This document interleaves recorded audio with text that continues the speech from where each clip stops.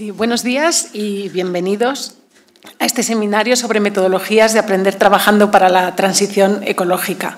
Quiero dar la bienvenida a todos los que os habéis trasladado hasta la sede de la Fundación y a todos los que nos, seguís online eh, en, este, en, este, ratito de, de la mañana de hoy donde vamos a tener la, presencia de expertos que nos van a comentar sus experiencias en relación a estas metodologías. Pero antes de eso, eh, quería compartir con vosotros algunos mensajes para poner en contacto esta, esta discusión.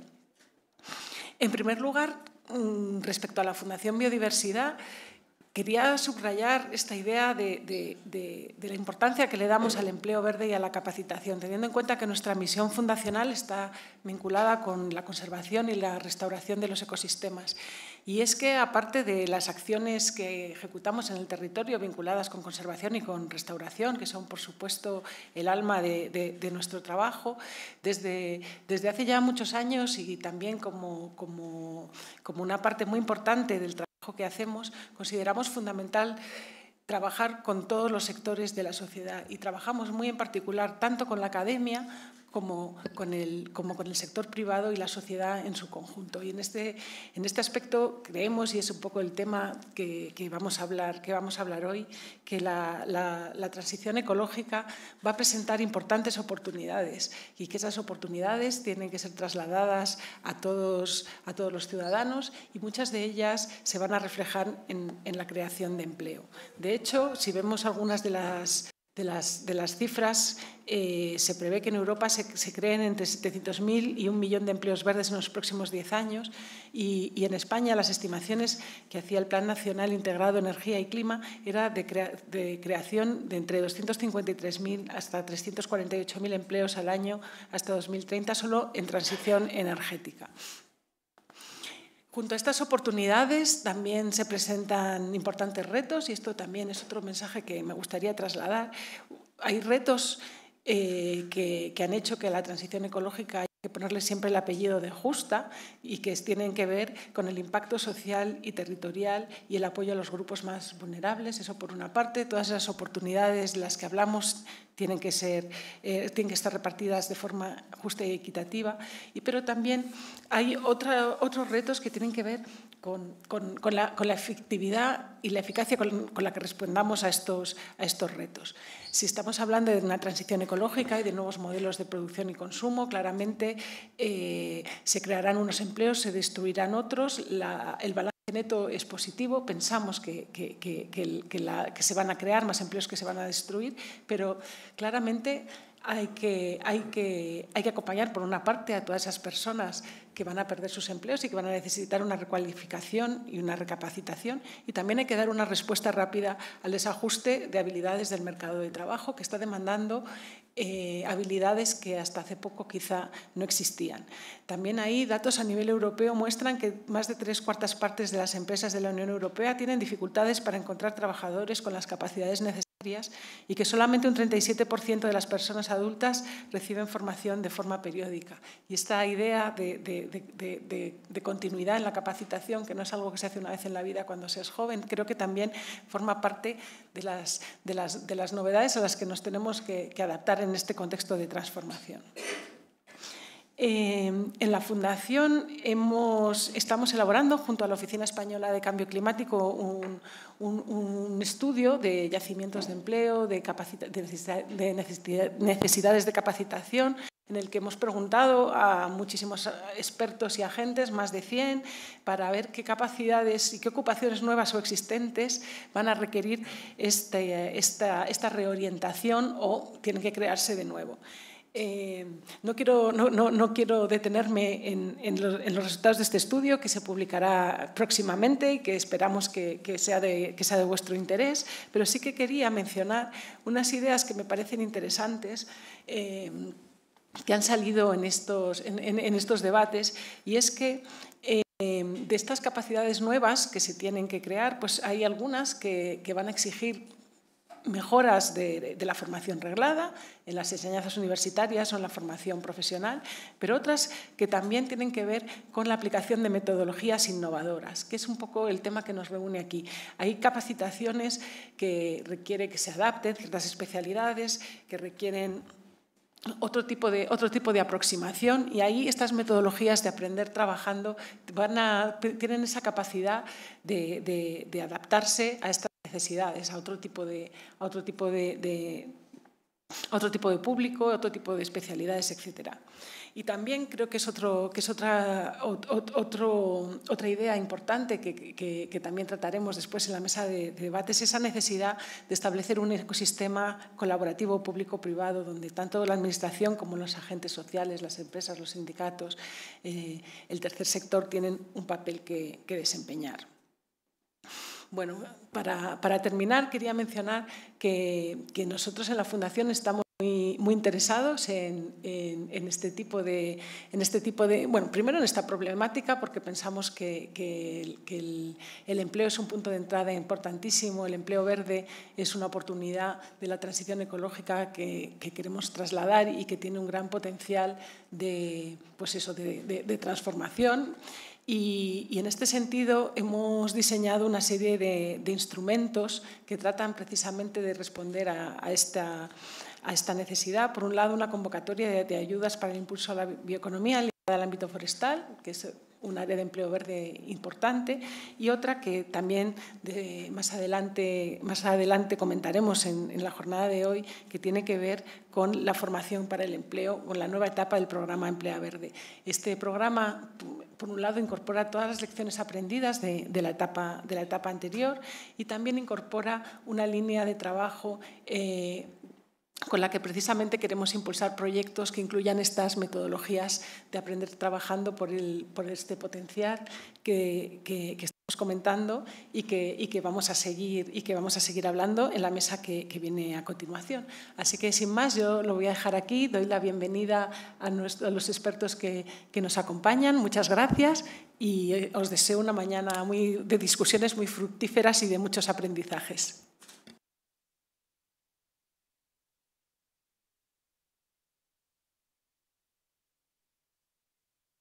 Bueno, pues como decía Elena, lo, importante de hoy son las experiencias de, estas personas que nos acompañan, porque nos van a dar ese, ese, mapa por el que transitaremos y, irán los nuevos proyectos del programa Emplea Verde que luego nos contará Sonia.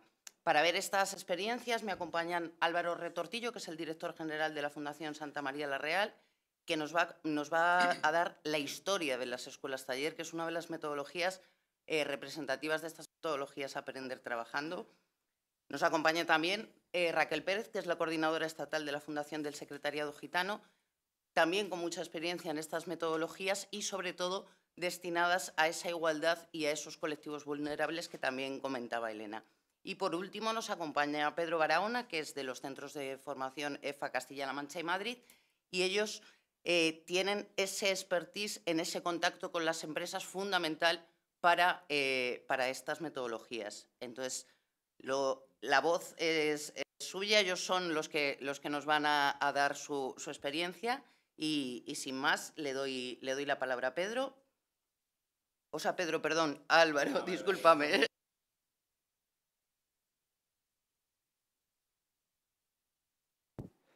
Okay.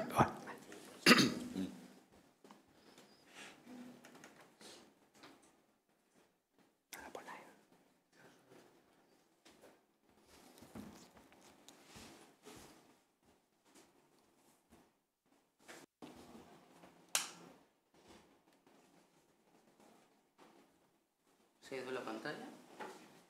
Mm. Disculpad, son las Problemas del directo, no pasa nada.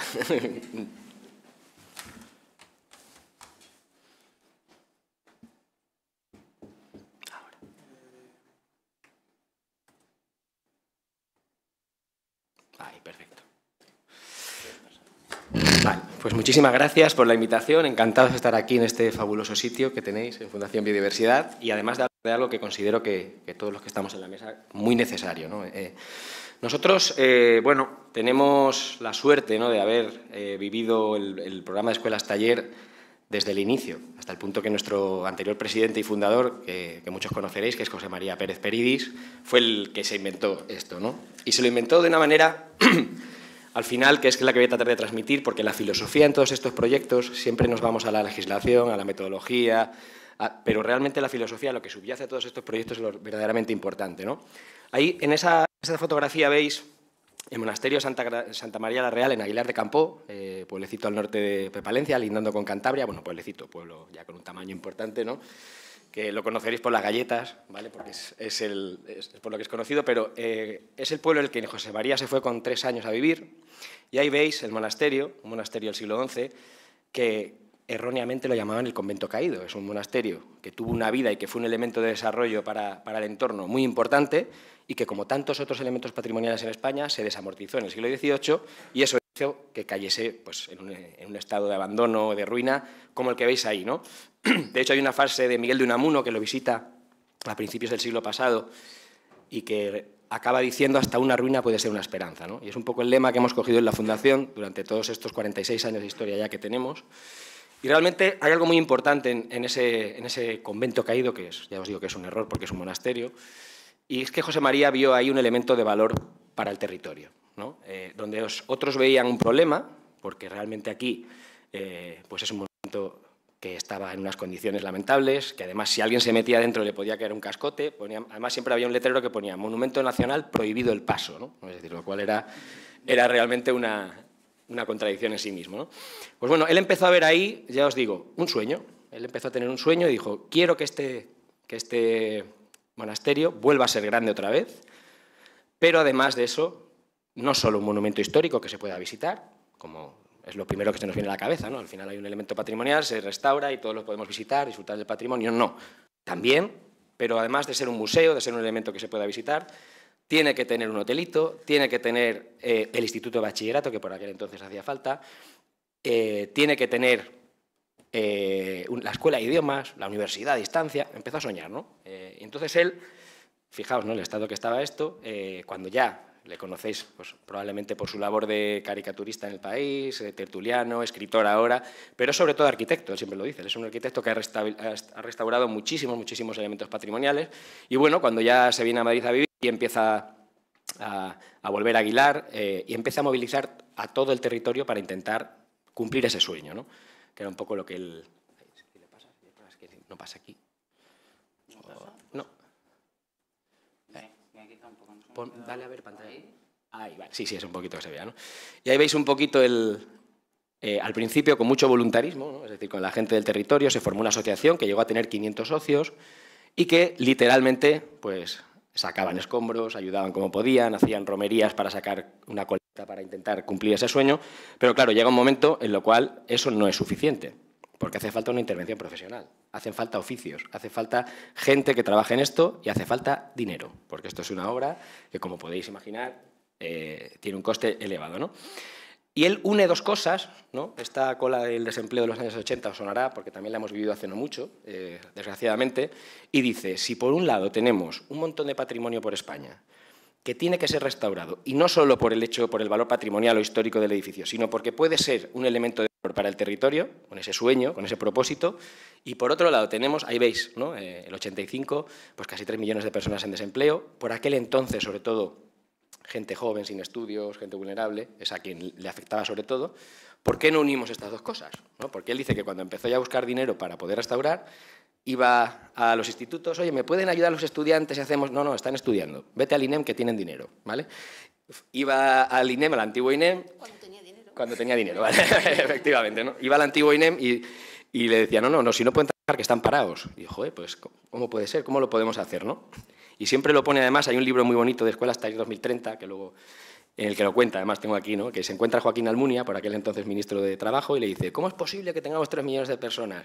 Y le dice, ¿tienes alguna idea? Y digo, sí, pues vente al ministerio. Y fue con la idea, ¿no? De, por un lado, un elemento patrimonial que puede ser un activo de valor importantísimo para el desarrollo del territorio, por otro lado, un montón de gente en desempleo, años complicados, si recordáis los años 80, eh, que trabajando en equipo con un propósito además muy claro. O sea, no es solo voy a formarme o voy a... No, es que entre todos vamos a, hacer, vamos a cumplir ese sueño. ¿no? Y además de la formación técnica, vamos a tener toda una serie de formación humana, por así decirlo, humanista, que es tan importante, los que trabajamos con colectivos vulnerables, ¿no? pues lo sabemos, ¿no? que es casi tan importante como la formación técnica. ¿no? Y se inventó las escuelas taller. Lo único le dijeron, oye, un piloto solo no, trae dos. ¿vale?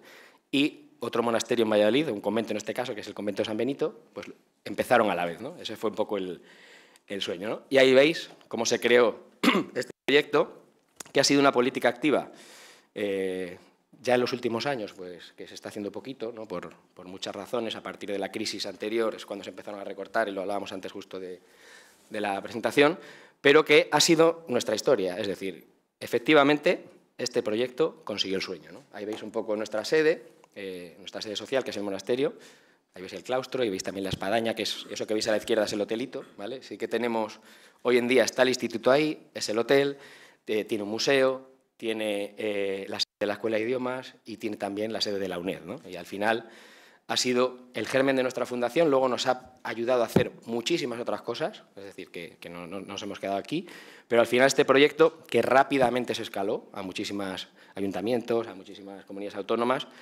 y sobre todo a Latinoamérica, ¿no? es decir, que es donde ahora mismo el proyecto está muy fuerte, en países como Colombia, y ha sido pues, la política activa de las principales. ¿no?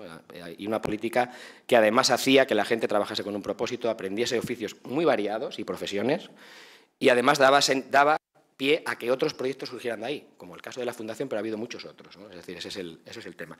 Nosotros a través de Escuelas Taller, por daros un flash rápido y tampoco, pues eh, creamos el Centro de Estudios del Románico, que nos hemos ocupado de estudiar todo el románico de la zona, catalogarlo, difundirlo, eh, publicarlo, eh, y, disfrutarlo también, que esa es otra. Hemos creado hasta una residencia de mayores, una necesidad que detectamos en Aguilar de Campo. A raíz de ahí rehabilitamos un edificio, formamos a personas y hoy en día, pues veintipico años después, sigue, sigue activa. Tenemos una pequeña empresita de maquetas de estas que veis de que se dan de regalo, de elementos patrimoniales, que surgió de una escuela taller y sigue activa, con, mujeres rurales trabajando de hecho, y muchos otros proyectos. ¿no? Y eso es un poco, eh, aquí veis, en el año 88, cuando se consigue terminar la restauración, la llamamos la foto de los bigotes, ¿vale? Esta de, normalmente. que alguno, alguno sonará y alguna sonará de los que están en la foto, ¿no? Que fue un poco en el 88 que nos dieron el premio Europa Nostra, que es el premio más importante en patrimonio. Podríamos haber dicho, se acabó, ¿no? Porque hemos cumplido el sueño. Es decir, hemos restaurado el monasterio, a partir de aquí va a estar el instituto, a partir de aquí va a estar el hotel, va a estar el museo, va a todo esto, ¿no? Pero no, o sea, nosotros lo que dijimos fue, este modelo se tiene que escalar, punto número uno, y nos tiene que servir para desarrollar todo lo que queremos desarrollar, que ha sido muchas cosas a lo largo de estos 46 años ya. ¿no? Un poco ahí veis, así en, un flash, todo lo, que, todo lo que hemos hecho durante este, durante este tiempo. Y bueno, a día de hoy, evidentemente con la caída del modelo escuelas-taller, pero no la filosofía, que creemos que es muy necesaria, el modelo escuelas-taller necesita una revisión, tanto a nivel normativo como de costes, como de enfoque, como de filosofía, y además con todas estas oportunidades que se abren ahora al hilo de la, transición ecológica, pues realmente es una gran oportunidad coger este tipo de proyectos, porque al final yo creo que la gente está un poco cansada, hablaremos un poco luego que entiendo con las preguntas, ¿no? pero está un poco cansada de formaciones sin propósito, como yo digo. ¿no? Es decir, al final el retomar esta filosofía del desarrollo humano, del equipo, de la variedad, y de tener ahí algo, una visión que te ilusione cuando estás trabajando. De hecho, tenemos la frase de hacer aprendiendo y aprender haciendo y disfrutando. Que es un poco la, idea. Y nada, por terminar, es un proyecto que ya os digo que está ahora muy activo en Latinoamérica, concretamente en Colombia, que es la política estrella del, eh, la política activa de empleo, una de las políticas estrella activa. Ahí veis, por ejemplo, una visita de Hillary Clinton a una de las escuelas taller de, de Colombia, donde hace poquito hemos estado además con ellos, con, no con Hillary Clinton, sino con los, de las escuelas taller, y nos han visitado y ahí tenéis ese libro si queréis ver un poco toda esa origen, filosofía, metodología, más allá de los decretos y de todas las cosas donde se regula, está un poco ahí. ¿no? Así que es un poco lo que yo quería transmitir, es como a través de este tipo de proyectos que son ultra necesarios, que hoy en día son yo creo que el modelo a seguir, con todas las actualizaciones, vueltas que le queramos dar ¿eh? a nivel sectorial, pero sobre todo yo me quedaría con eso, ¿no? la parte de propósito, que la gente tenga un propósito mientras se forma, la parte de esa hibridación entre lo técnico y lo humano, y también la parte ahora mismo, porque esto da lugar a muchas derivadas, ¿no? de la conexión con las empresas, que hablaremos después, de los temas de colectivos vulnerables, que también hablaremos. Eh, y nada, damos la enhorabuena también a la Fundación Biodiversidad por haber apostado por estos enfoques en el nuevo, programa y, y encantado. Muchísimas gracias, Álvaro. Muy inspirador. Entiendo que, las escuelas taller, yo escuchaba Álvaro y pensaba, pues restauración del patrimonio cultural, restauración del patrimonio natural, que es nuestro que es nuestro, nuestro foco. Entonces, bueno, pues muchísimas gracias. Luego entraremos en el debate, pero vamos a seguir. Con, seguimos con Raquel, ya que nos hemos cambiado de, orden en la mesa, seguimos así. Y, y, Raquel, Raquel Pérez, de la Fundación Secretario Gitano, nos va a hablar, nos va a hablar sobre, sobre su experiencia. Sí, además, eh, bueno, ahora haremos una presentación de la entidad, pero mm, las claves de nuestra línea de intervención de empleo se basan también mucho en lo que ha contado Álvaro y de lo que supone un modelo de, aprender trabajando, de aprender, de aprender haciendo, que hemos bebido y disfrutado de las escuelas taller y de ahí han surgido otras experiencias. Mm. Por un poco de contexto, la Fundación de Gitano es una entidad que lleva trabajando desde los años 60 en un poco con el objetivo general ¿no? y tan ambicioso como es la igualdad de oportunidades y la promoción de la población gitana, uno de los, la principal minoría étnica española y uno de los colectivos con mayor dificultades de inserción y, en, extrema, en extrema pobreza.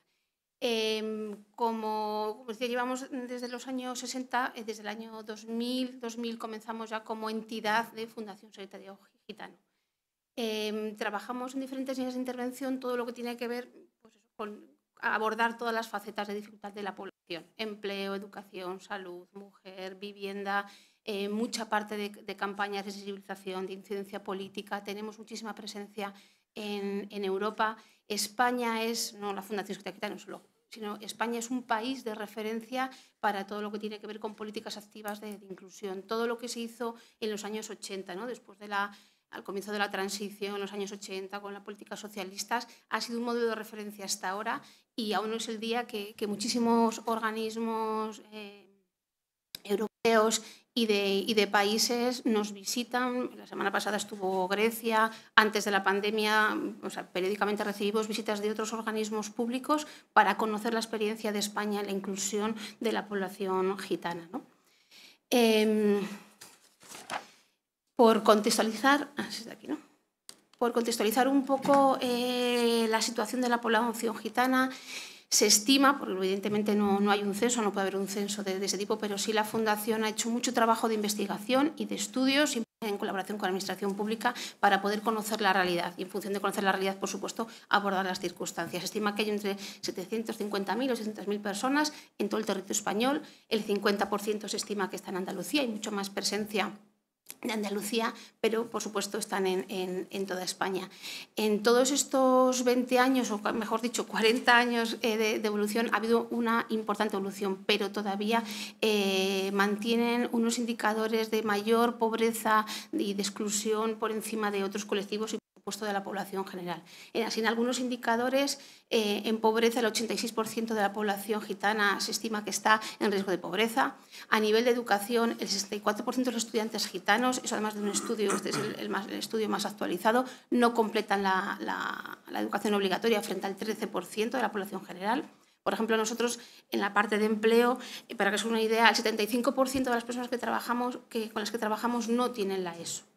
Eso después tendrá, viene mucho al hilo del modelo de aprender trabajando. En la tasa de desempleo está en un 52%, en vivienda alrededor de unas 2, millones de familias, 2.000, perdón, familias, eh, viven en, asentamientos o en zonas de, infravivienda y a nivel de discriminación el 51% de las personas han sufrido discriminación en los eh, últimos cinco años.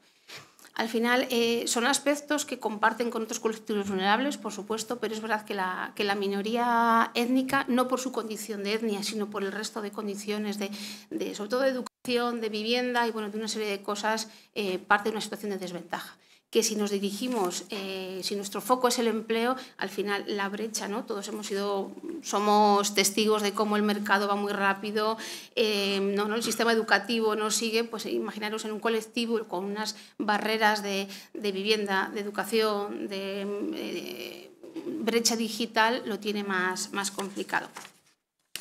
En el año 2000, un poco de la mano del Fondo Social Europeo, la Fundación eh, bueno, fue en el 98, en aquellos Integra y Horizon, aquellos antiguos eh, programas, primeros programas europeos, planteamos un proyecto de inserción laboral con población gitana cuando eso era un poco impensable, ¿no? cuando con las políticas con la población gitana, que tenían su sentido, eran más asistenciales, ¿no? de vivienda, prestaciones, pero nadie se había planteado un proyecto de inserción laboral para trabajar en el mercado normalizado por, por cuenta ajena. Y de aquel piloto que fue 98-2000, eh, bueno, pues, después en el año 2000, 2000 ya eh, con la nueva convocatoria de los programas corporativos pluriregionales de lucha contra la discriminación, aquel nombre tan, tan largo, tuvimos la oportunidad de ser también organismo intermedio en el Fondo Social y poder implementar ese piloto que hicimos en Madrid, trasladarlo a nivel España. Ahora mismo somos creo que mil trabajadores o así, estamos en 62 localidades. Trabajamos, como os decía, en diferentes ámbitos, pero en, empleo estamos en 62 eh, localidades. Y desde entonces eh, hemos podido gestionar a través del Fondo Social Europeo programa Inserción eh, Laboral, que nuestra imagen de marca se llama Acceder, ¿no? que es como denominamos al empleo. En acceder lo que perseguimos es eso, es que, eh, que el empleo entendemos que es la, llave para la inclusión, para la, dignificación de la persona, para que una persona sea un ciudadano de pleno derecho y que va más allá de, una retribución económica, sino de, mantener tu, ¿no? tu, economía, tu familia y tu, tu pertenencia a la, a la sociedad. En, en, ese enfoque, bueno, pues más o menos eh, esos datos que vienen ahí son un poco el volumen que tenemos ¿no? Pues cerca de 21.000 personas a nivel de España, unas 4.000 eh, personas hacen empleo, porque bueno, en ese trabajo de, de, inserción laboral, bueno, como también todos conocéis, hace un trabajo pues, muy nivelizado de ver qué se necesita, de conocer el mercado pero ahí la llave principal ha sido siempre la formación. Ya en el año 2000 planteábamos incluso a las empresas de limpieza, oye, vamos a organizar un curso de limpieza. Las empresas de limpieza te decían, pero ¿para qué queréis hacer un curso de limpieza? ¿no? Entendíamos que no solo es eh, ¿no? limpiar, parece que, eh, que, puede limpiar o sabe limpiar todo el mundo, no. Todo perfil profesional requiere eh, un conocimiento técnico, pero no solo el conocimiento técnico, al final es todo lo demás, ¿no? que lo ha, lo ha adelantado y también Álvaro lo ha puesto mucho en relieve. Eh, un conocimiento del sector, una serie de competencias y, unos hábitos que hay determinados colectivos que por su trayectoria no tienen. Por tanto, nosotros siempre tuvimos desde el principio una idea muy clara, que la formación tenía que tener tres patas. Formación técnica, dirigida al puesto, por supuesto, una formación competencial y, hábitos laborales, y bueno, la parte eh, digital, por supuesto, ha venido, ha venido posteriormente. Y en esa línea, bueno, pues ya desde el año 98 eh, bueno, estuvimos gestionando escuelas taller. De hecho, nuestra sede central, en que está en Vallecas, ha sido rehabilitada a través de diferentes escuelas taller. Mm, fue la, experiencia, bueno, hasta el 2012 que se acabó el, grifo ¿no? de la financiación, porque era, lógicamente, la, la, crisis en aquellos momentos más álgidos, son proyectos muy caros, pero que nuestra experiencia fue, bueno, fue súper positiva porque te permite acceder a puestos que, como decíamos, no hay escuelas de, cantería, de, em, de, todo el tipo de la construcción, no hay tipo de escuelas, había una necesidad importante, pero al margen de, las oportunidades laborales que existían, en dos años te permitía trabajar muchísimas cosas con chavales. Estábamos chavales de 16, 18 años, sin la ESO, y ahí trabajábamos tanto la parte de competencias, pero también la otra serie de hábitos. en dos años a una persona le pasan muchas cosas y te permite trabajar muchas cosas.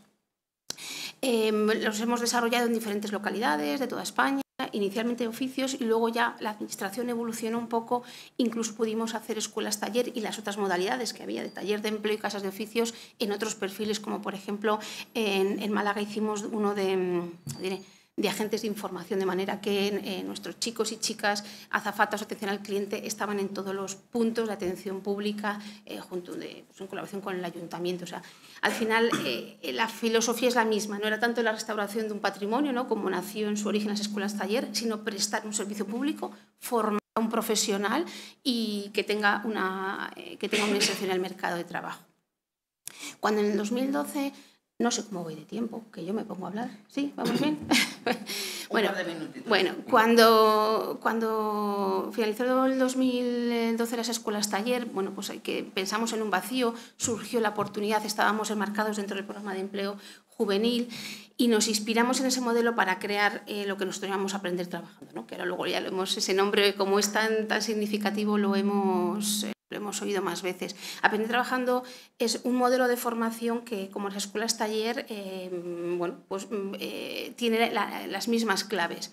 Una adecuación muy clara a la persona, una vinculación a la empresa, ese es un poco el valor que aporta a la escuela taller, ¿no? Preguntarle a la empresa ¿Qué necesitas? Diseñamos el perfil, la empresa se implica en la formación y se forman. Eh, al final el formato eran seis meses, más corto, económicamente también había que abordar, eh, seis meses en el que se, había una parte de competencias, la formación técnica de la empresa y la formación eh, práctica en la empresa con una beca. ¿no? También hablábamos de cuando estamos hablando con colectivos vulnerables, Nadie se puede permitir estar seis meses, estos son 35 horas semanales, con esa, con esa dedicación lo hemos hecho en diferentes perfiles, pero hay uno en el que ha tenido mucho, mucho sentido y mucho éxito, que ha sido en el tema de dependiente de frescos. Lo mismo, es un ejemplo similar al de la construcción, en el que no, había, no hay escuelas, aún hoy en día, no hay escuelas de pescaderos, pescaderas, carniceros y carniceras. La demanda es muy grande, da igual la tasa de paro que tengamos en este país, la demanda de profesionales de dependientes de frescos es muy alta, entonces un poco encajaba. Y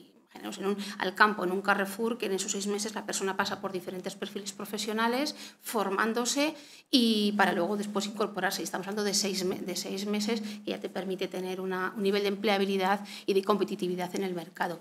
Y esa es un poco la, filosofía de esa formación que, que comparte las mismas, las mismas premisas que decíamos de, la, de las escuelas taller. Y ya en la última paso eh, ha sido eh, que es la, convocatoria que el Servicio Público de Empleo Estatal eh, sacó el año pasado. La primera edición la sacaron, así empezamos el 28 de diciembre de 2022.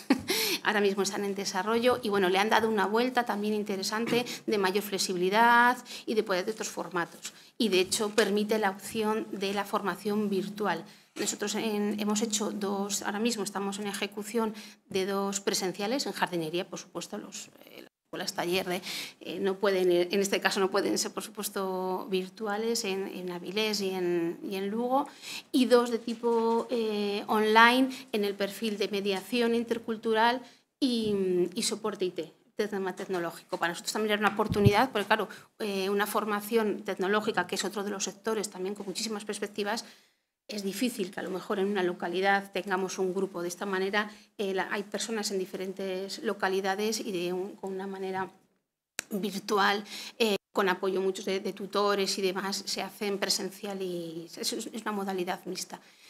Pero lo mismo compartiendo la, filosofía de algo muy enfocado al mercado, con implicación eh, de, la empresa y con mucho apoyo y acompañamiento, porque al final son las principales barreras que tiene esa, esa no, la, población. Yo creo que toda la población, pero al final en los colectivos vulnerables, cuando hablamos de no falta de experiencia, falta de referentes, nos referimos a eso. ¿no? A lo mejor se trata de, jóvenes que no tienen eh, en su entorno familiar una trayectoria de conocer diferentes perfiles, de lo que significa ser un, cocinero, un, perfil tecnológico, no, no, tienen esa, esa experiencia y, a través de estos proyectos también te permiten acompañamiento en cada, en cada una de las, de las situaciones.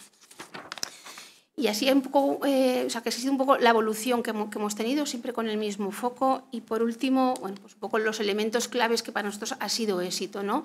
Eh, es un modelo de aprender trabajando, aprender haciendo, que va muy enfocado y se ajusta muy bien a los colectivos de, de mayor vulnerabilidad. Eh, no puede ser, o no puede ser, nosotros no lo entendemos, lo ideal es que esté entroncado en otra intervención, no que una persona venga, haga esto, sino que esté con un trabajo previo, un trabajo durante y un trabajo a posteriori, ¿no? de, acompañamiento. La parte de las empresas, que en estos 20, 15 años ha habido una evolución importantísima ¿no? de implicación de las empresas, yo creo que por los dos vías, ¿no? porque necesitan personal, por tanto, bueno, pues si no tengo personal me tengo que acercar al personal y también, por supuesto, de un compromiso, de un creciente compromiso, ¿no? de responsabilidad social y de ver que su conocimiento, su know-how, lo que sea, la pueden a, disposición de la, de la población el acompañamiento que decíamos.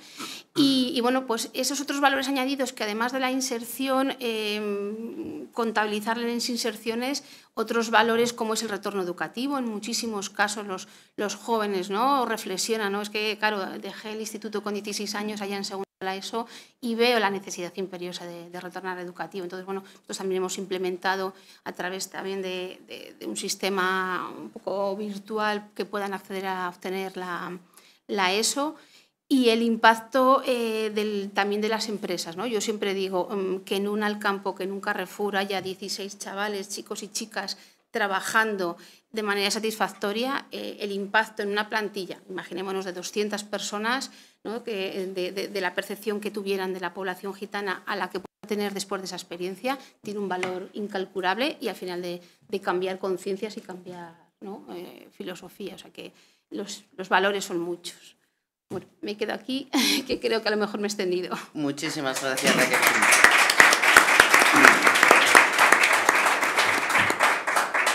Bueno, y para finalizar la ronda de intervenciones, antes de abrir el, turno de, debate y, las preguntas que habíamos planteado, eh, vamos a hablar con Pedro Barahona de los Centros de Formación Profesional EFAS, que tiene muchísima, muchísima experiencia en esto que, comentaba Raquel, en la importancia de la colaboración con, con, las empresas, porque me consta que tenéis una tasa de empleabilidad bastante, bastante alta. Pues cuando quieras, Pedro. Gracias, Sonia. Bueno, y gracias a la Fundación por, por...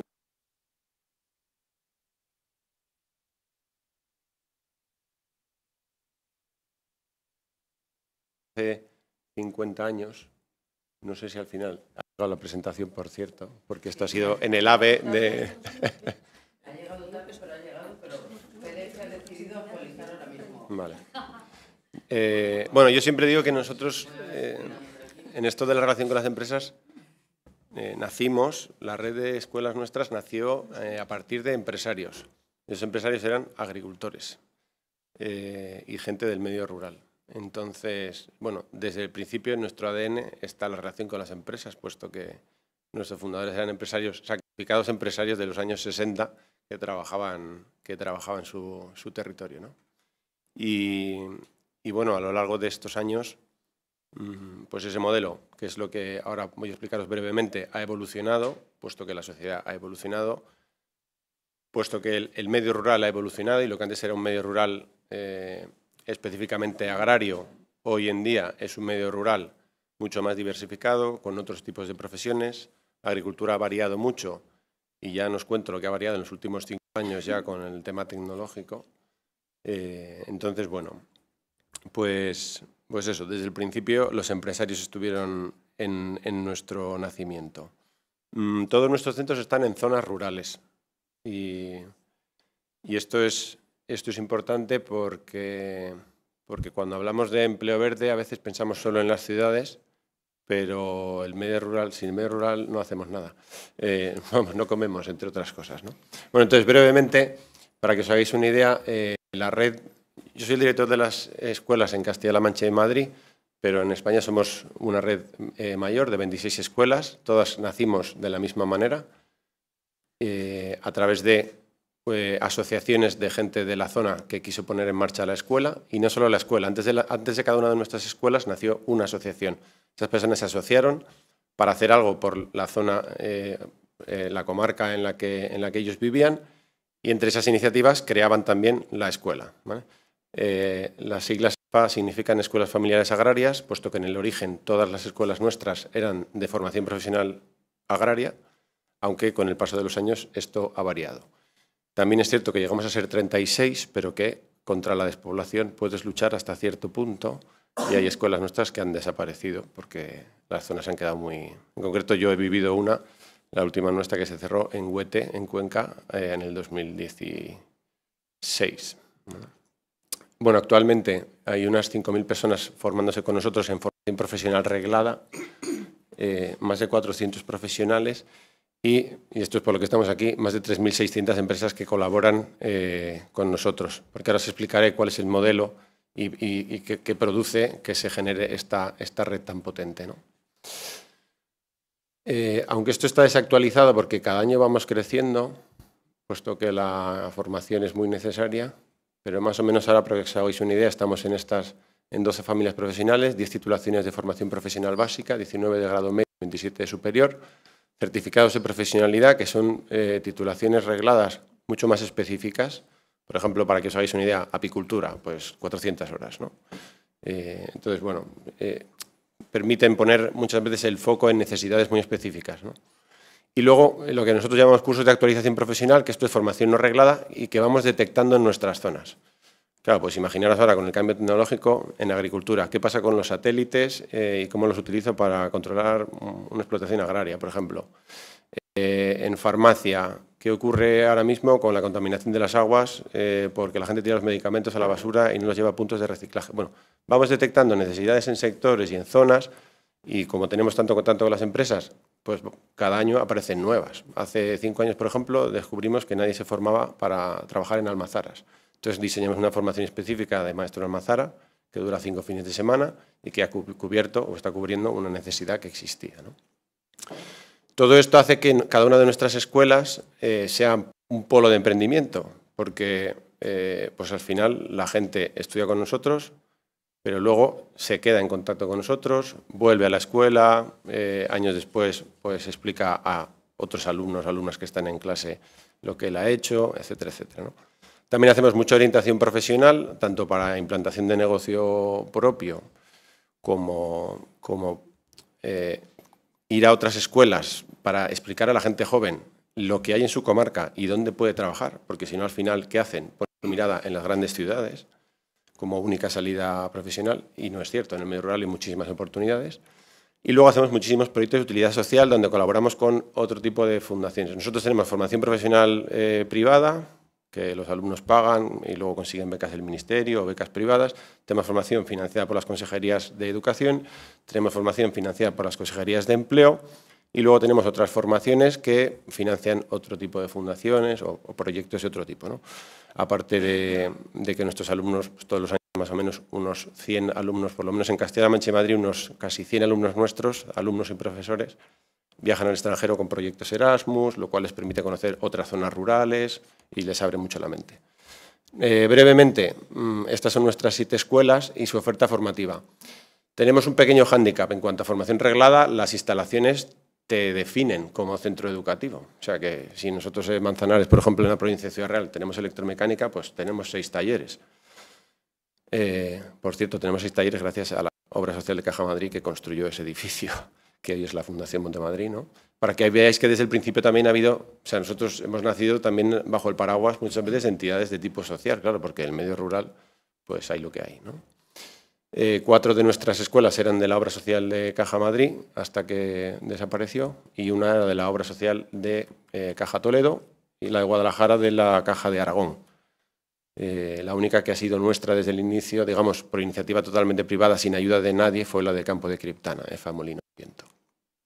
Bueno, ¿por qué hacemos las cosas? Entonces, desde el principio, las, eh, la persona que impulsó esto fueron eh, dos personas muy inquietas, Felipe González de Canales y Joaquín Herreros. Felipe, después de organizar las EFAs, como era tan inquieto, organizó lo que fue posteriormente Asaja, eh, que antes estaba dividido en dos sindicatos distintos, no era, no era solo este, eh, dos asociaciones, perdón. Entonces, bueno, ellos pues detectaron esta necesidad, eh, buscaron modelos en otros países y descubrieron en Francia lo que se llamaba las Mason Familias Rurales, que llegaron a ser 800 en su día, 800 escuelas, y que había sido una iniciativa de agricultores.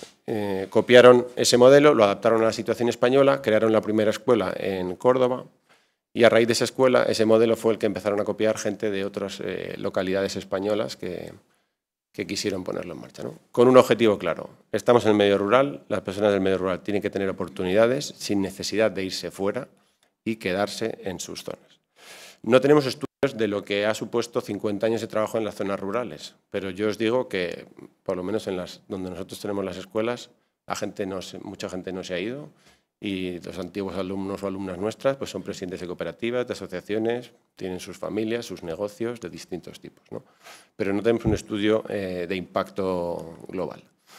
Con una visión muy clara y es que desde el principio pues iban a bueno, puesto que nacimos a la raíz de las empresas, de los eh, agricultores, pues iban a colaborar las familias eh, en, la, en la escuela y en la asociación eh, los alumnos y las empresas que quisieran, que el alumno tenía que ser el protagonista de su aprendizaje, que tenía que haber una atención personal a cada alumno y que tenía que haber una formación basada en la inquietud por el saber. Ahora, ahora os pondré el modelo completo. Bueno, y luego que tenía que haber una serie de valores en la vida de la gente, porque al final esto no es solo dinero, sino también saber hacer y ser una buena persona.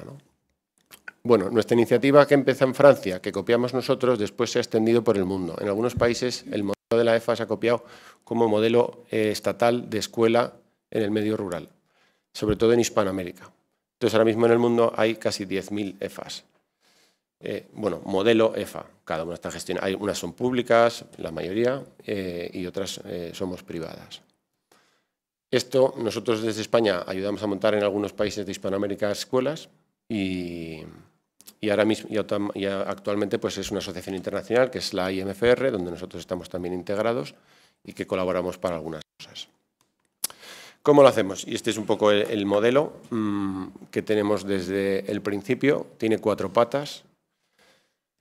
Eh, empezando por porque la persona tenga un proyecto personal y profesional de vida y que nosotros le ayudemos. En las zonas rurales no solo hay agricultores, hay agricultores, hay farmacéuticos, hay atención a personas mayores, eh, ahora mismo hay parques solares, fotovoltaicos, eh, no sé, que es que la vida va por donde va, ¿no? Entonces, bueno, ayudar a la gente a que tenga un proyecto personal de vida y profesional y, ayudarle en ello. Por eso no solo tenemos formación reglada, que digamos que hace que tus instalaciones te obligan a impartir solo una cosa, sino que estamos continuamente investigando y viendo con las empresas, con asociaciones, estamos metidos en las asociaciones de desarrollo local, bueno, pues qué necesidades puede haber en la zona por esta segunda pata, la del desarrollo del medio. O sea que mm, ya os digo que nosotros no somos solo la escuela, sino que antes de la escuela fue la asociación y la asociación mm, busca trabajar en, más eh, ámbitos que no sean estrictamente el, de formación reglada. La asociación, que siempre ha estado ahí y donde se integran todas las empresas que colaboran con nosotros, eh, otras instituciones, fundaciones, eh, entidades locales, etc. Y la pedagogía. Desde el principio eh, la formación profesional nuestra era formación profesional agraria y los alumnos pasaban una semana en la escuela y dos semanas en la explotación familiar con sus padres. Pero todo ese tiempo, tanto el tiempo de la escuela como el tiempo en la explotación agraria, tiempo de formación oficial. ¿me acuerdo? Entonces el alumno iba continuamente en un proceso de reflexión de lo real de la explotación de su familia a lo que veía en la escuela, reflexionaba sobre lo que había visto en el campo, problemáticas que tenía, eh, aprendía cosas nuevas, a las dos semanas siguientes las aplicaba. Ese modelo, que es lo que hoy en día se llama la FP Dual y que nosotros hemos ido adaptándolo, o sea, cuando nació en España la FP Dual hace unos 10 años, nosotros dijimos, bueno, ya, ya lo tenemos, no hace falta, ¿no? Eh, bueno, nosotros tenemos toda una metodología que la hemos ido adaptando porque, claro, ahora trabajamos en muchos sectores, pues tenemos electromecánicos, tenemos atención a personas, tenemos agricultura, eh, ha irrumpido eh, todo lo verde en todos los sectores profesionales. Y entonces, bueno, nosotros tenemos una metodología donde el alumnado, dependiendo de las, de las formaciones, mm, va distintos periodos a las empresas, pues puede ir un mes cada trimestre o puede ir al principio de curso y a final de curso. También depende un poco de los sectores. Los sectores tecnológicos, por ejemplo, necesitan más formación en la escuela antes de salir a terreno. Los sectores agrarios eh, son profesiones estacionarias y pues si estás estudiando elaboración de vinos, perdona, en septiembre no vas a clase, en septiembre te vas al viñedo, que es donde tienes que estar aprendiendo a recoger la uva, viendo qué problemática hay cuando llegas a la bodega, etcétera, etcétera. Pero todo eso es parte de su formación. Entonces, claro, dentro de todo esto, eh, pues imaginaros, en el caso de nuestras siete escuelas son 1.500 alumnos, que todos los trimestres salen a las empresas. Entonces, nosotros tenemos una red de empresas que colaboran con nosotros, en el caso de Castilla y La Mancha Madrid, unas mil, continuamente recibiendo alumnado. Clínicas dentales, explotaciones agrarias, cooperativas, eh, empresas de energía solar, mm, talleres, bueno, todo lo que se mueve alrededor. Eh, algunas las buscamos nosotros, otras las busca el propio alumnado o las proponen ellos. Entonces, bueno, es muy fructífero porque todo nuestro profesorado eh, está continuamente en relación con las empresas, eso les permite una actualización muy natural, porque el alumnado no va, no va a la empresa y lo sueltas allí, sino que previamente se ha pactado con la empresa o con la cooperativa lo que va a hacer, eh, cuánto tiempo va a estar, qué contenidos curriculares tiene que tener durante esas dos, tres semanas que va a estar con ellos. Mm, bueno, entonces, bueno, es muy enriquecedor para el alumnado, para el profesorado, etc. Y nos permite, o a mí me permite, pues también eh, y a los directores de las escuelas estar en contacto con ellos y preguntar mucho y que te cuenten. Oye, mira, eh, tenemos un problema porque ahora nos exigen eh, con esta nueva legislación que hagamos esto y la gente está formada. Vamos a hacer algo. Oye, vamos a organizar un curso para tus empleados o vamos a generar un, curso para la gente del entorno que conozca esta nueva legislación, etcétera, etcétera. Eh, bueno, esto es un poco, no sé cuánto tiempo llevo, pero más o menos mm, lo que hacemos. Y bueno, aquí por supuesto no podemos poner todo el abanico de empresas que colaboran, pero estamos abiertos, o sea, nosotros lo, de las redes nos gusta, nos parece que es muy interesante. Entonces, cualquiera que llame a nuestra puerta, nosotros le invitamos a un café eh, y hablamos, claro. Porque, ¿Por qué? Porque hay miles de oportunidades, miles miles de personas y de instituciones intentando hacer cosas buenas y oye, a lo mejor tú no tienes instalaciones, pero yo sí las tengo. O a lo mejor yo no tengo conocimiento sobre esto, pero lo tienes tú. Y nos ponemos de acuerdo y además accedemos a unos fondos mm, de locales o regionales o europeos y encima nos lo financian. Bueno, no sé, hay, me parece que hay miles de oportunidades. ¿no? Pues así es. Muchísimas gracias, Pedro.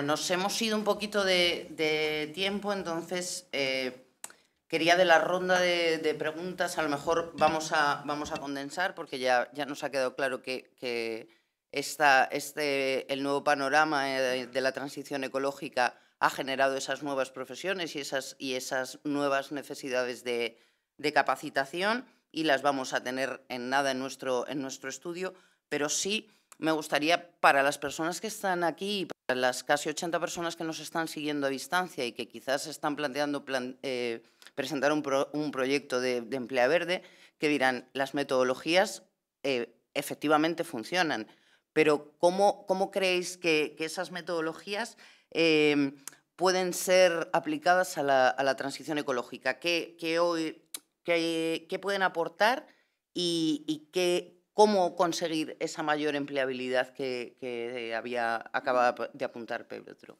Si te parece, empezamos por ti, Álvaro. Vale, perfecto. Eh, bueno, pregunta complicada, ¿no?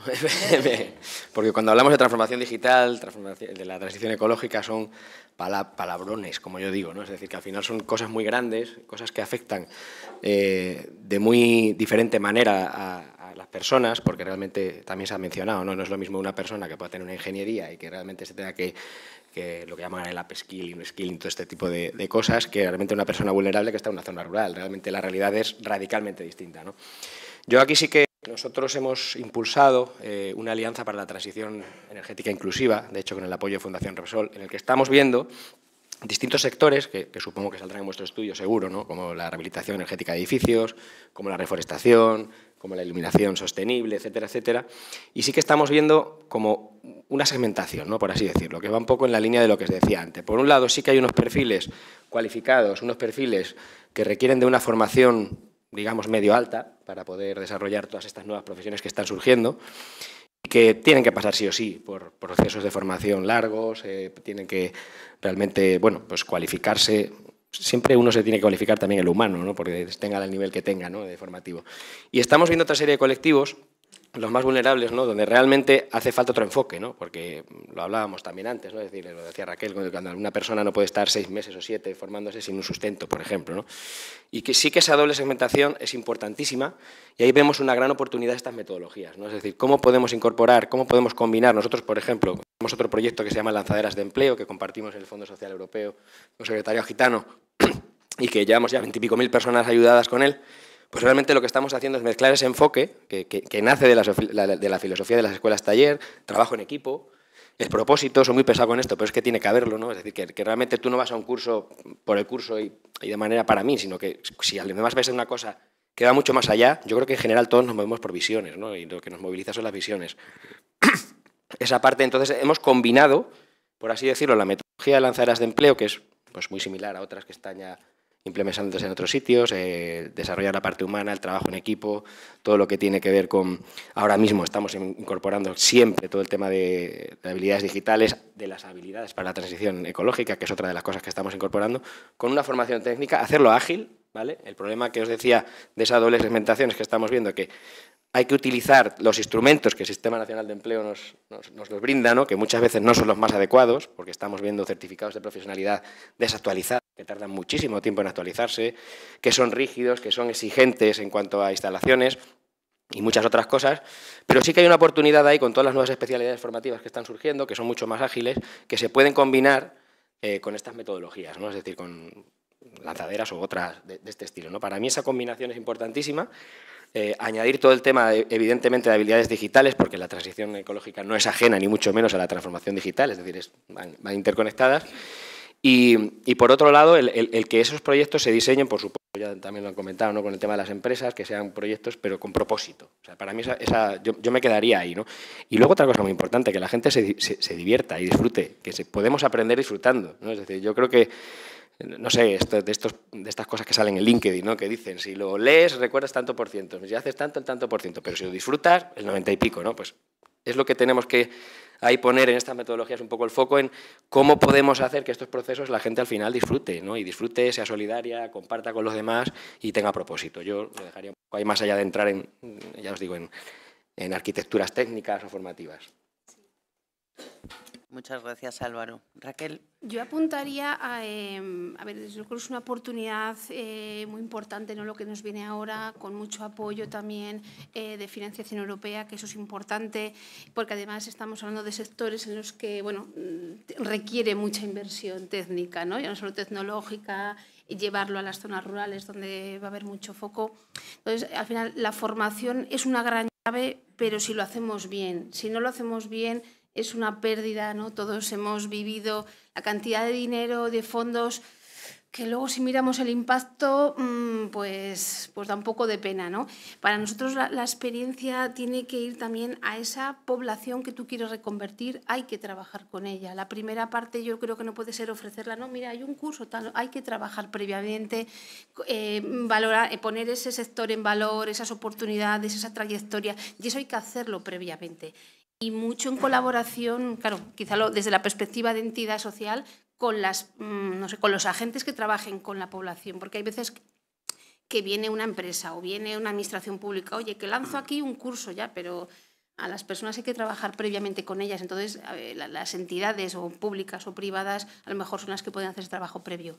Otra pata fundamental son las empresas. No nos podemos implementar algo, aunque sea empleo verde, sin tener una idea con la empresa. Nosotros hemos empezado, llevamos ya dos o tres años con, con esta línea por lo mismo, por ofrecer a la población gitana otros sectores que no sean la baja cualificación de la limpieza del comercio y no sé qué, ¿no? Estamos todavía con la baja cualificación, con eso, montando esas estructuras metálicas de campos solares, pero bueno, ya estamos dando pasos para crear perfiles profesionales de 600 horas, eh, con EDP, con Iberdrola, con no sé qué, o sea, implicando a la empresa porque al final la empresa dice que necesita gente. Bueno, pues entonces la empresa ha de comprometerse, ha de comprometerse con su formación, con su conocimiento, con sus recursos, con sus instalaciones. ¿no? O sea, necesitamos el compromiso de la empresa eh, más allá de necesito gente. Y luego, por supuesto, he hablado de, las redes, de la coordinación, que es trabajoso, ¿verdad?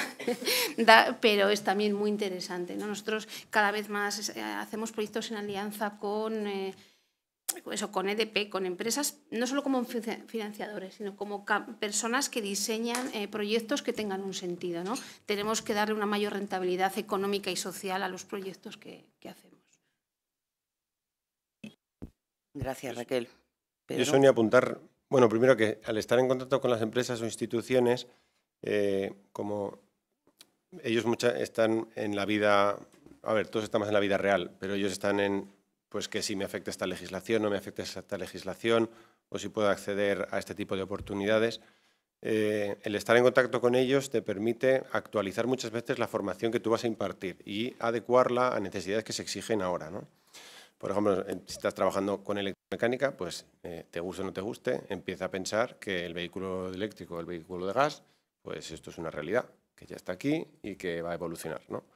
Eh, y si eres electricista, pues ya no pienses solo en la instalación eléctrica, piensa en la electrificación de parkings, piensa en bueno, muchas otras cosas. ¿no? Entonces, ese contacto con las empresas eh, siempre va a generar eh, una parte fructífera. Va a generar que antes decías que los currículums están desactualizados, no, no, voy a decir una energía, pero permite decir, vale, pues esto no, no es que no lo comparta, es que le voy a dedicar medio minuto esto existía, ya no se utiliza. Vamos a lo siguiente, ¿no?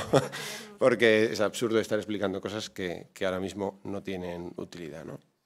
Y, luego me parece también que ese contacto del alumnado con la realidad de las empresas y del día a día les ayuda mucho también a, tener una mayor conciencia verde. A ver, yo creo que las nuevas generaciones tienen una conciencia mm, ecológica en muchas cosas, pero cuando durante su formación más o menos larga están en contacto con las empresas y pueden hablar de tú a tú con empleados o con empresarios, pues de repente se dan cuenta de la problemática del empresario. Eh, muchas veces pues el tema ecológico les afecta y también les ayuda a ellos a detectar a lo mejor pues una nueva necesidad que a lo mejor no se había, no se había planteado antes.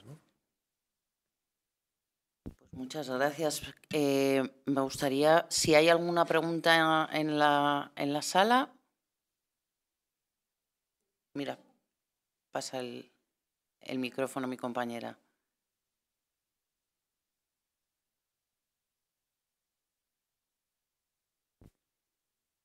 Si se puede presentar. Eh, ah, sí, yo me llamo Yolanda Ponce y trabajo en Fundae, que es la Fundación Estatal para la Formación en el Empleo.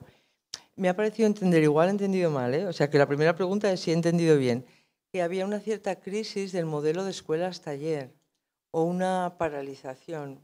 Me ha parecido que lo comentabais ambos y, me ha sorprendido porque yo tenía la idea de que era un modelo muy exitoso dentro de las políticas activas de empleo. Entonces, ¿por, qué, por qué mm, se ha producido esto, si es que se ha producido? Pues eh, por muchas razones, ¿no? Yo creo que, pero Raquel lo apuntaba antes, ¿no? Al final es un programa caro, es un programa que, que imaginaos lo que cuesta restaurar un monasterio u otro edificio o hacer programas de este tipo, ¿no? Es decir, esa es una de las razones. En la crisis anterior hubo un recorte importante de políticas activas de empleo y se empieza por lo más caro, muchas veces, ¿no? Es decir, eh, eso es una. Luego también hay, que ser honestos, ¿no? Es que, el modelo, pues de alguna manera se desvirtuó, ¿no? Es decir, en, en muchos casos, ¿no? Es decir, al final eh, ese, digamos, esa filosofía original ¿no? de, que, pues, de que tenga un sentido, de que realmente de aprender haciendo, de que el proyecto sea de utilidad pública, no, no solo, es decir, eh, que al final que puede ser muchas veces, eh, o bien para una entidad social o para, para, lo que sea, ¿no? para una administración y demás, a veces cuando un modelo, digamos, crece sin un control, esto es el conflicto del escalado, ¿no? Al final cada uno lo coge y lo, y lo usa un poco a su propia conveniencia. Y vimos escuelas que un alcalde cogía para arreglar la calle para, para que estuviera bien para las elecciones, por ejemplo. ¿no? Esto se ha visto. Entonces, son algunas de las razones. Luego sí que es cierto que las cosas requieren actualización, requieren eh, de evolución, requieren de innovación y, cuando pues, tú ves un poco la orden de bases, que no sé de qué año es, es, antiquísima, eh, no sé, está todavía en este formato de BOE antiguo, si os acordáis, pues, y se actualizó después además con unas condiciones económicas que la hacían casi insostenible ¿no? para las entidades que las desarrollábamos. Es que era imposible. son muchas las razones. Se siguen haciendo, el patrimonio nacional la sigue haciendo, o sea que las escuelas taller hay y algunas otras entidades.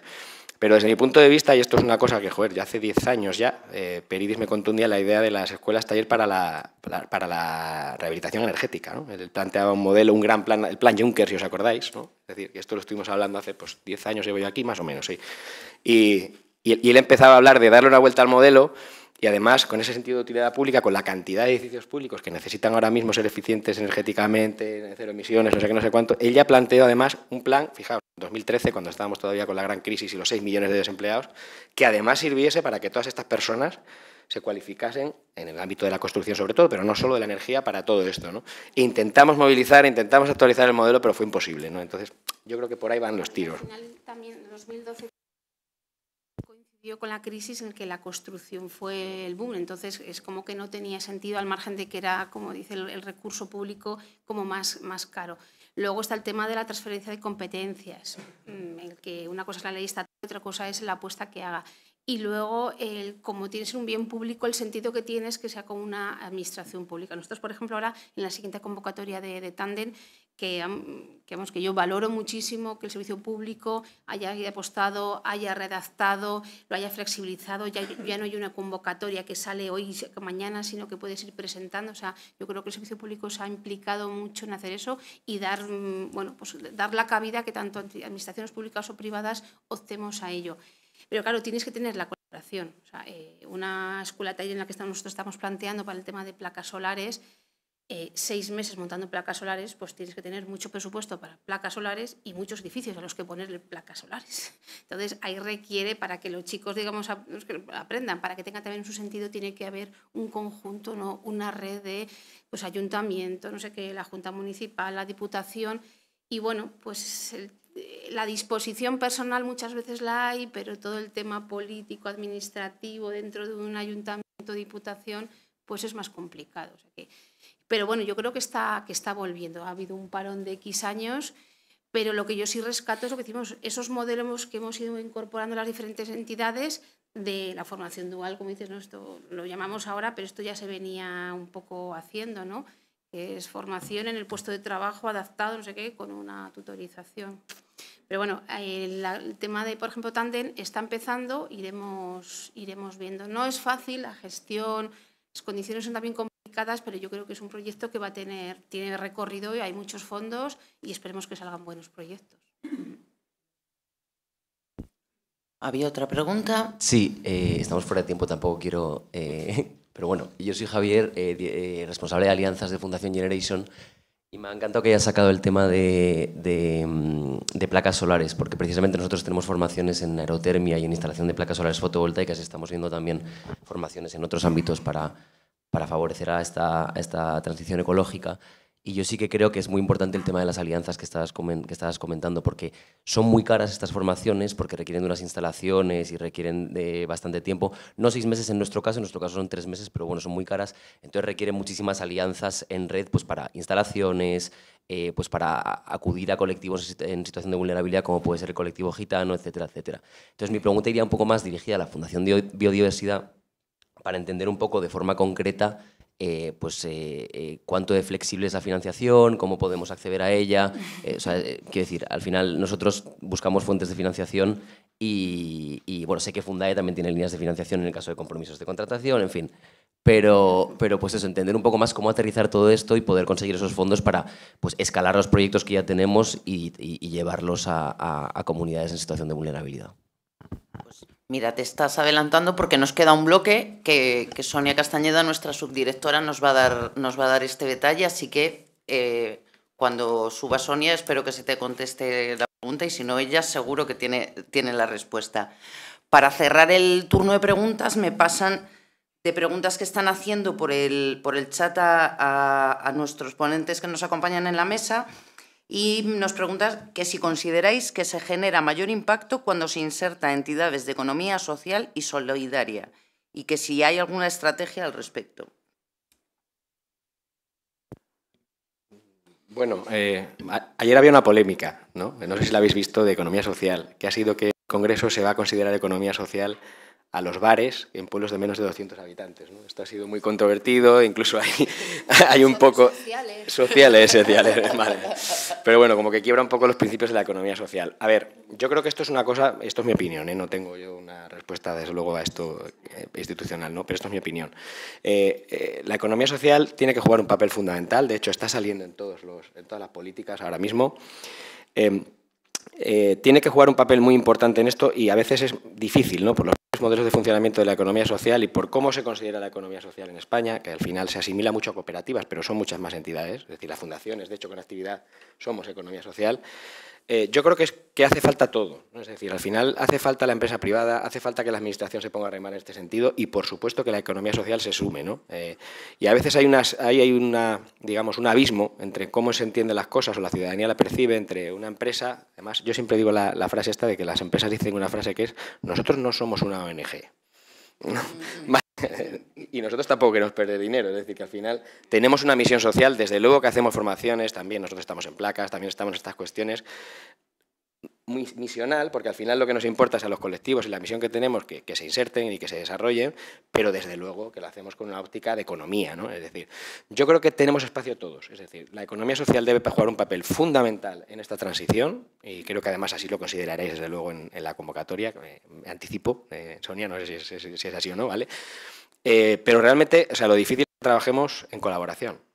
Eh, esto de la colaboración, que es una cosa que todo el mundo estamos en alianzas, colaboramos luego súper chungo. O sea, es muy difícil ponernos de acuerdo si todos firmamos convenios, hacemos la foto y estamos colaborando con. Pero realmente luego el ponernos a trabajar conjuntamente y modificar nuestras cadenas de valor para que al final se consiga, en este caso, el tema del empleo, es complicado. Entonces yo creo que aquí debemos remar conjuntamente. Sí que creo, ya os digo, que la economía social, por, sus propios principios ¿no? que aparecen en la ley, los cuatro principios, tiene un papel fundamental que jugar, pero también otros agentes. Y aquí tenemos que colaborar y es el gran reto, ¿no? porque además lo que nos está pasando, o lo que está pasando muchos con este plan, ¿no? de, que siempre me olvido el nombre, recuperación, que es tan largo, es que al final nos crean unas expectativas brutales ¿no? cuando sale el plan, pero luego pues bueno, eh, las cosas son complicadas y al final el, hacer que la gente colabore, ¿no? al final la, economía es una ciencia de incentivos, tienes que hacer que la gente colabore porque lo pongas en la convocatoria, punto.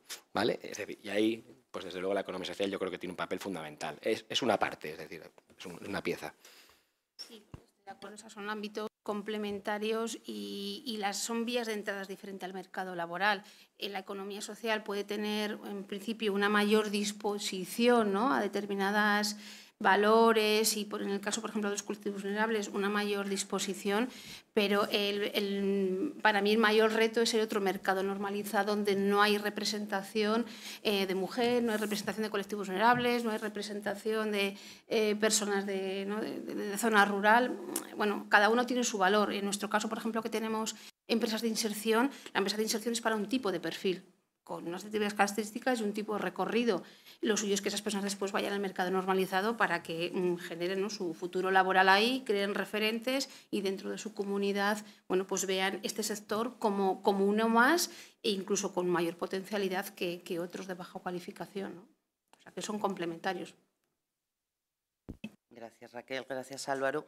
Esta pregunta nos la hacía Sam de las Reas de Canarias y también nos hacía otra pregunta referida a, qué documento mencionaba Álvaro sobre, sobre, los sectores de potencial inserción. Yo creo que Álvaro se estaba refiriendo al, estudio que ha mencionado nuestra directora y que, presentaremos recientemente. Entonces, Sam, te emplazamos a que, a que nos sigas porque en, breve eh, tendréis noticias de él y además sobre, sobre este informe sobre yacimientos de empleo se ha fundamentado la redacción de, de las bases de la convocatoria Emplea Verde que como vamos fatal de tiempo, ya voy a invitar a, Sonia eh, a, que, a que nos la cuente, no sin antes agradeceros, Pedro, Raquel y, Álvaro, vuestra, vuestra experiencia, vuestro, vuestro saber hacer y, que, contamos para vosotros para, para, seguir inspirándonos. Muchísimas gracias.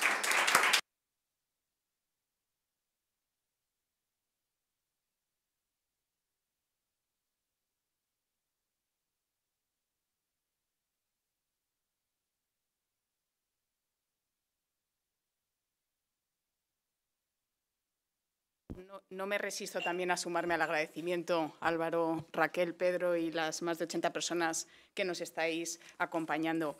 Eh, nosotros en la Fundación Biodiversidad tenemos tremendamente claro que, que para avanzar en esta transición verde y digital en la que estamos inmersos, que no olvidemos que es para conseguir vivir en armonía con la naturaleza en el año 2050 y para frenar la pérdida de biodiversidad en el 2030, necesitamos una revolución de las capacidades. Y ese término no me lo he inventado yo, ese término lo oímos en los pasillos de la OIT, del Foro Económico de Davos, de la Comisión Europea, la revolución de las capacidades. ¿Por qué? Porque necesitamos, es muy sencillo, necesitamos reinventarnos para poder abordar estas dos importantes transiciones al ritmo que requiere el reto que tenemos, que tenemos por delante. Y de ahí que el programa Emplea Verde, nosotros llevamos gestionando Fondo Social Europeo desde el año 2001. El programa Emplea Verde nació en el año 2007 para ser ese puente entre las políticas de empleo y la política ambiental. Y hoy, y no se me ocurre mejor marco que este encuentro sobre metodologías sin aprender trabajando, escuelas taller o como queramos llamar las metodologías innovadoras, para eh, comentar y poner poner en marcha y, compartir este, este, nuevo marco de trabajo en el que, entra el programa Emplea Verde, Emplea Verde eh, Plus, con el horizonte 2029. Intentando dar respuesta a algunas de las preguntas que, han surgido, bueno, precisamente eh, esta nueva etapa del programa Emplea Verde surge con muchas novedades. Le llamamos Emplea Verde Plus porque el Fondo Social es Plus. ¿Y por qué es Plus? Pues por un montón de cosas. Entre ellas, porque, porque es un programa centrado 100% en, en las capacidades, en la capacitación. Prestamos especial atención a esto. Capacitación con propósito, si es posible. Es un programa que le damos un enfoque más práctico precisamente implementando, incorporando estas metodologías a aprender trabajando que sí han servido para el patrimonio cultural y en estas últimas décadas hay ejemplos en nuestro país que también se han implementado para el patrimonio natural, pero pensamos que ahí hay un nicho de, y un recorrido eh, tremendo. Así que, de nuevo, mil gracias por vuestra experiencia y por vuestros consejos que vienen de, de la experiencia. Un programa más profesionalizado y orientado a la demanda y a las necesidades. Lo hemos estado hablando a lo largo de la mañana. una pieza de todo esto son los temas de los certificados, por ejemplo, de profesionalidad que, comentaba, que comentaba Pedro. Un programa con más sinergias y ahí lo estamos enfocando a que buscamos que la pieza de un proyecto Emplea Verde, que un proyecto Emplea Verde Plus sea una pieza de marcos de trabajo más grandes, de marcos de trabajo financiados con otros fondos, ya sean europeos o nacionales, de marcos de trabajo relacionados con otros sectores, con otras temáticas, y que precisamente un proyecto del programa Emplea Verde que pone en marcha o o que apoya esta Fundación Biodiversidad del Ministerio para la Transición Ecológica y el Reto Demográfico sea, sea una pieza más. de hecho, le vamos a dar un peso específico importante, precisamente para, conseguir mayor alcance. Temáticas nuevas, las que todos habéis oído hablar y de las que oiremos hablar en breve mucho más a raíz del estudio de yacimientos de empleo y, de, y de los resultados de este estudio, pero os adelanto bioeconomía, restauración ecológica, infraestructura verde, muchas de ellas el temazo de las agrupaciones que acabáis de, mencionarlo y que es que, vamos, no lo has podido decir más claro, Álvaro. Nosotros en la propia fundación somos una entidad que tiene casi cumplimos 25 años este año. Tenemos tremendamente claro que trabajar en colaboración es fundamental y además es que hemos visto y experimentado que cuando estamos varios socios de muy diferente naturaleza y muy diferentes em, objetivos e incluso aproximaciones, cuando trabajas conjuntamente marcos de trabajo de larga, media duración, eh, con un propósito y un objetivo concreto en el marco proyecto, oye, yo no sé por qué, pero realmente las cosas pasan. Y, eso es tremendamente, yo creo que los que nos dedicamos a los temas ambientales es lo que nos mantiene la ilusión todavía viva y, creo que envejecemos mejor todos, además. Pero es precisamente, em, esto, este, este, es un tema en el que le prestamos especial atención en la nueva etapa del programa. Fomentamos los proyectos que vengan en agrupaciones, porque cada pieza es fundamental y con un objetivo común las cosas suceden. Más cosas, más, es más porque proyectos de más duración, hasta dos años. Venimos de, escenarios en los que hemos eh, apoyado proyectos con duración de ocho meses, no, hasta dos años y más importe, hasta dos millones de euros. Entonces pensamos que, que con esto se pone en marcha marcos de trabajo que van a facilitar esa colaboración y ese trabajo en agrupación. Aquellos proyectos que vayan en agrupación van a tener un peso específico y una puntuación muchísimo mayor en los criterios de valoración. Ya está, con esto se consiguen las cosas. Así nos entendemos. ¿Qué más cosas? Se abre a colectivos de riesgo de exclusión social y, también se abre a apoyar proyectos no solo centrados en... Sabéis que nuestros proyectos eh, están dirigidos a apoyar a personas desempleadas, trabajadoras y emprendedoras. Y abrimos a apoyar a personas emprendedoras que ya tengan una empresa, porque somos conscientes de la necesidad de la consolidación y de reinventar, la necesidad que tienen las pymes de, reinventarse. Em, poco más, simplemente animar a las, a las entidades que conocéis estas metodologías a incorporar la variable verde y animar a las entidades que nunca habéis trabajado con estas metodologías a incorporarlas en, las herramientas de, trabajo porque pensamos que son tremendamente prácticas para, para alcanzar los objetivos.